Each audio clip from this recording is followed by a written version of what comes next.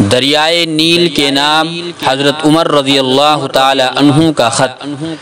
اہل مصر قبطی مہینوں میں سے ایک مہینہ بعونہ میں حضرت عمر بن عاص رضی اللہ تعالی عنہ کے پاس جمع ہوئے اور کہنے لگے، اے امیر، ہمارے اس دریائے نیل کا ایک دستور چلا آ رہا ہے کہ یہ اس وقت تک نہیں چلتا جب تک اس میں ایک کنواری لڑکی کو ڈال نہ دیا جائے۔ حضرت عمر بن عاص رضی اللہ تعالی عنہ نے پوچھا ہاں بتاؤ، اس دریا کا کیا دستور ہے؟ لوگوں نے بتایا کہ جب مہینے کی بارہ تاریخ ہوتی ہے تو ہم ماں باپ کی کنواری لڑکی تلاش کرتے ہیں۔ پھر اس کے ماں باپ کو راضی کر کے اس کو اعلیٰ سے اعلیٰ زیورات اور عمدہ سے عمدہ پوشاک پہناتے ہیں۔ پھر اس لڑکی کو دریائے نیل میں ڈال دیتے ہیں۔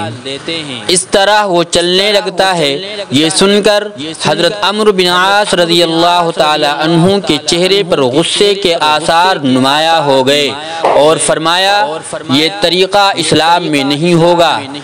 اسلام ما قبل کے تمام رائج شدہ طریقوں کو مٹاتا ہے۔ مصر کے لوگوں نے ماہ بعونہ ماہ ابیب اور ماہ مصری تک انتظار کیا۔ مگر دریائے نیل میں کوئی فرق نہیں آیا۔ تھوڑا بہت پانی بھی اس میں نہیں آیا۔ یہاں تک کہ لوگوں نے وہاں سے کوچ کرنے کا ارادہ کر لیا۔ چنانچہ حضرت عمر بن عاص رضی اللہ تعالی عنہ نے حضرت عمر بن خطاب رضی اللہ تعالی عنہ کو اس کے متعلق خط لکھا۔ تو حضرت عمر رضی اللہ تعالی عنہ نے جواب میں لکھا کہ تم نے صحیح کہا۔ اسلام ما قبل کے تمام طریقوں کو ختم کرتا ہے۔ میں تمہاری طرف ایک پرچہ بھیج رہا ہوں۔ جب میرا خط تم تک پہنچے تو یہ پرچہ اس دریائے نیل میں ڈال دینا۔ جب وہ خط حضرت عمر بن عاص رضی اللہ تعالی عنہ کے پاس پہنچا تو آپ نے وہ پرچہ کھولا تو اس میں یہ لکھا تھا امیر المؤمنین عمر رضی اللہ تعالی عنہ بندے خدا کی طرف سے دریائے نیل کے نام حمد و سلاد کے بعد۔ اگر تو اپنی طرف سے چلتا ہے، تو چل۔ اور اگر وحدہ شریک، اور اگر تو اللہ کے حکم سے چلتی ہے تو ہم اللہ سے درخواست کرتے ہیں کہ وہ تجھے چلا دے۔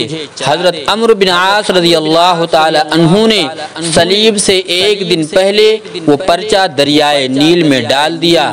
اہل مصر تو وہاں سے کوچ کرنے کی تیاری کر چکے تھے۔ صلیب کے دن صبح کو دیکھا تو معلوم ہوا اللہ تعالی نے اس کو سولہ ہاتھ کی مقدار جاری کر دیا۔ اس سال سے یہ بری رسم ختم ہو گئی۔ ہو گئی۔